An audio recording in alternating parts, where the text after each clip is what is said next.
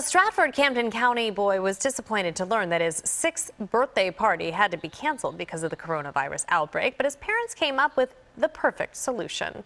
It's my birthday! It's a birthday parade featuring the birthday boy. Luka took part in a parade by all of his friends' houses, 23 in all. Luka had a great time and it gave his friends something fun to do too. His friends went all out making signs for him and leaving him presents. Happy birthday, Luka. Very cool.